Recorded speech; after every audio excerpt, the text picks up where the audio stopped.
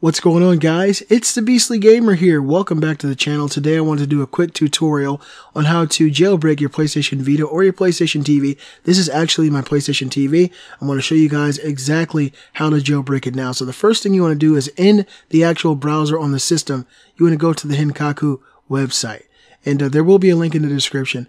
The one thing about this jailbreak is if you completely power down your Vita or your PlayStation TV, you have to go back to this website and click this install button once again. So what you do is you click install, you're going to get a disclaimer telling you that you're basically voiding your warranty, which really shouldn't be an issue uh, if you're really into the jailbreaking scene. And what you do is continue on, go ahead with the install, and another screen is going to pop up. And once the screen pops up, what you want to do is stop JavaScript on the page. You want to go up there and scroll to that, click it, and then you hit OK, and then your Vita or your PlayStation TV will do something spectacular. Right before your eyes, the Molecule uh, website will jailbreak your Vita and it works as long as your Vita has power, which is really great, and it makes your Vita standard once you power off your Vita. So it really makes it's like a win-win situation.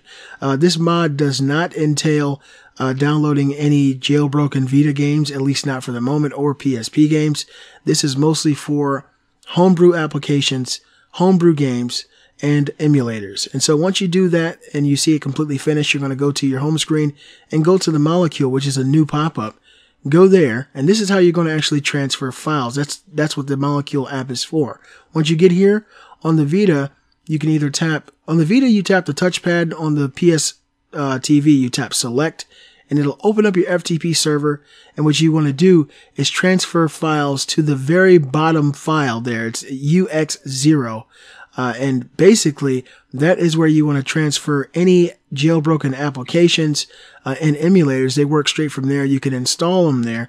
There will be a link in the description uh, for you guys to go and find these applications. But once you do it, uh, you you'll basically be in a whole new world with your Vita. One of the things I really loved about my PlayStation Portable was uh, all that extra time I spent playing uh, my emulators on there. The, the PSP had a really really robust um, uh, jailbreak scene or hacking scene.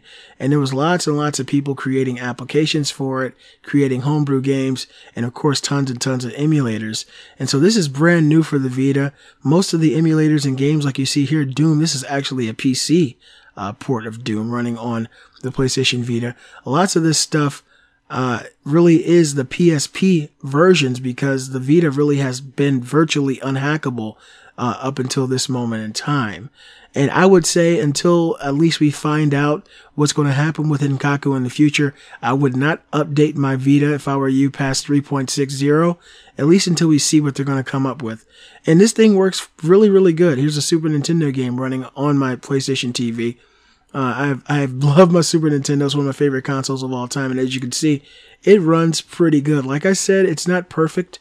Uh, I think this emulator runs a lot better on the PSP than it does on the Vita because it's not actually made for the Vita. But if you're really into old school games and you got, you know, that emulator rush, you want to play games on your emulator, this really, you can't go wrong here. Uh, and like I said, I got a Sega Genesis on mine. I got a Super Nintendo. I got a Game Boy. I got a GBA Game Boy Advance. And uh, I got the Vita Doom game, which is like the very first uh, Doom game, or the very first homebrew game uh, for the Vita that's actually made for the Vita, and it works pretty damn well. Uh, and like I said, this really doesn't seem to uh, hurt your Vitas at all. You know, Vitas for the most part right now aren't getting a ton of play. They aren't getting a ton of action. so most of the time, if people are even playing their Vitas, they're playing one or two games. It's not really, you know, a ton of games on the Vita that people are playing right now. And this just gives it a ton more replayability, just a lot more games that you can play and enjoy. Here's a Game Boy Advance emulator with one of the first GBA games I actually bought, uh, Super Mario Advance. And it works pretty damn good. Uh, I'm actually pretty pleased with the fact that this is the PSP emulator running on the Vita and it still works pretty good. I'm probably more excited to see what happens with the future of this thing as far as uh, developers and indie developers out there making things for the Vita and you know uh, commissioning their own emulators to work on the Vita. I think it's a really exciting time, finally, to be a Vita owner. So you guys let me know what you think in the comments. If you have any questions about this, uh, this exploit, I'll answer your questions in the comments below. Uh, I'll also drop some links for you guys if you want to get some of these, uh, emulators and jailbreak or jailbroken applications. You guys let me know if you like the, uh, jailbreak for the Vita. Hope you do. Leave a comment. Definitely give a thumbs up and show support for the channel. I'm the Beastly Gamer and I'll see you guys next time.